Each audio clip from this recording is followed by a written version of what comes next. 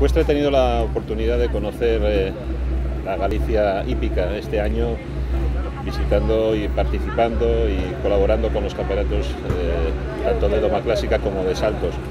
Y, después de esos dos campeonatos tenemos la impresión de que Galicia está en un momento emergente, hípicamente hablando. ¿Tú compartes esa opinión? Estamos en un momento de ilusión, yo creo. Eh, un momento en el que la Doma ha pegado un giro enorme, de la mano de una vocal fantástica como es Bea Parcero. Eh, ha crecido, hemos empezado a asomarnos a la competición, salir de nuestra burbuja, asomarnos a la competición nacional, hacer un campeonato gallego muy bonito, con una gran cantidad de binomios, tener 14 representantes en el momento de España, hace poco de menores. Eh, en definitiva, estamos muy contentos con ese proyecto DOMA y en salto feliz por, por, por varios motivos. Primero porque hemos conseguido con este nuevo formato, eh, incorporando la copa al campeonato, de em, acercar eh, el campeonato y vivir el campeonato a, una gran parte de los federados que hacen competición. Nos parece que es algo fundamental. Yo lo tenía muy claro, la Copa es un peldaño, un peldaño de ilusión para intentar abordar el campeonato al año siguiente para muchos jinetes y amazonas.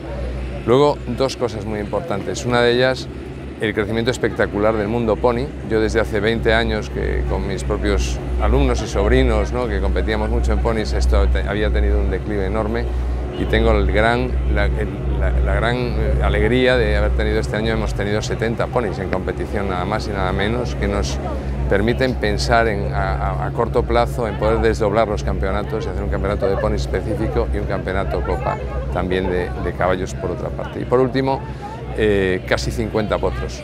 Es una gozada ver que hay mercado emergente, eh, esperemos, yo en broma les decía a los jinetes que les voy a poner una cláusula de que en los próximos cinco años los, los potros que concursan en este campeonato no se pueden vender fuera de Galicia, pero eso es muy difícil.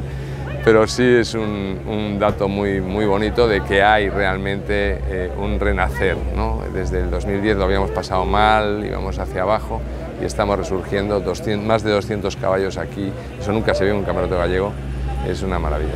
En el campeonato de Doma Clásica vimos a jóvenes eh, profesores eh, que tenían su propio club, su propio centro hípico dedicado a la Doma Clásica. Vemos que hay en torno al, mundo del pony jóvenes que también están creando sus grupos. Eh, eh, podemos hablar de emprendedores en la hípica gallega, pero da la sensación de que hay jóvenes emprendedores eh, que quieren tirar del carro. Hay ahora mismo un buen número de ellos, tanto en el salto como en la doma, como en otras disciplinas, y algunos no tan jóvenes. Yo no me quiero olvidar del completo, que está emergiendo aquí también. Está dando la semana próxima, hora que viene, hemos tenido que aplazar ahí por culpa de la, de la climatología, vamos a tener el Campeonato Gallego de completo, es una disciplina mucho más complicada, pero en la que aquí en Galicia, sin querer salirnos demasiado del tiesto, queremos darle su oportunidad.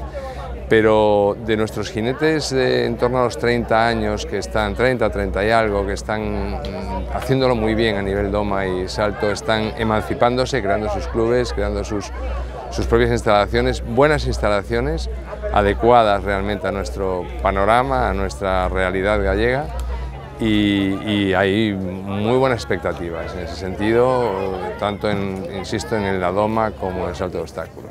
Desde la federación, ¿cómo, cómo se ve eh, la hípica de los clubs gallegos? Eh, hay dos niveles o dos mundos totalmente diferentes. Por un lado Casas Novas, luego por otro lado un montón de clubs que hacen una, una gran labor, como Casas Novas la hace también, uh -huh. pero son mundos diferentes.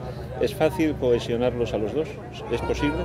Sí, Casas Novas es, el, es el gran contenedor donde todos los gallegos queremos estar, ¿no? nos apetece y, y porque es un sitio maravilloso, una instalación espléndida, un lujo para todos y además nos proporciona dos internacionales al año. Lástima que este año nos ha chafado un poquito, pero es, eh, es un poco un referente, ¿no? un referente de gran nivel.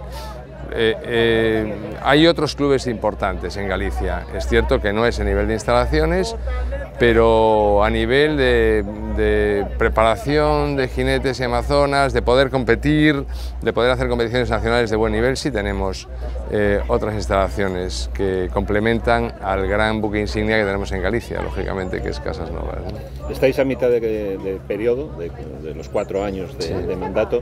Eh, ¿Qué mensaje darías a, a, los federados gallegos en estos momentos que además son difíciles para, para todos? Yo, yo no he percibido nunca en mí que esté en un mandato. Yo yo soy un federado aficionado, apasionado de este deporte, el primero que se pone a, las órdenes del jurado de campo o de un comité organizador para hacer lo que haga falta y simplemente que yo les digo lo que les he dicho siempre, yo estoy aquí, yo soy Fede, soy accesible, yo quiero que me transmitan lo que necesitan y yo intento con nuestro equipo, un equipo que creo que trabaja muy bien, intentamos eh, hacerlo mejor. No puedes contentar al 100% de la gente nunca, pero trabajar para la gran mayoría sí. Y, creo que lo estamos consiguiendo, sinceramente. Yo creo que el ambiente en este campeonato ha sido fantástico, en el de Doma también, y la gente está muy contenta, muy motivada y es lo más importante. Quizá la cercanía es lo que el federado más demanda, ¿no?